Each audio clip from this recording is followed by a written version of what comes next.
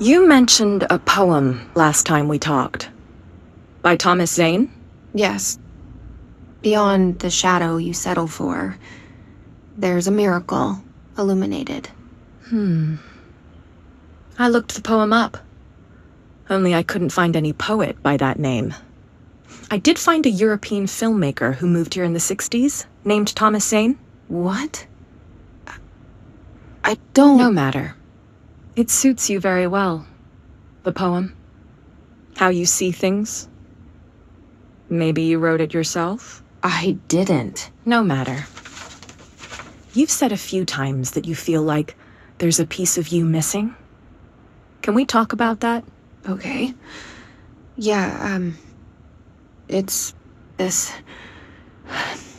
I feel an emptiness, a yearning for something that I think I lost. It's natural for you to feel that way.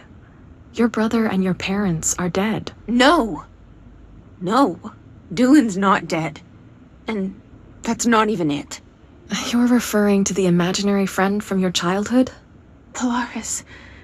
She's come back. After a long time, she's calling me. In a dream I saw, she. She showed me things.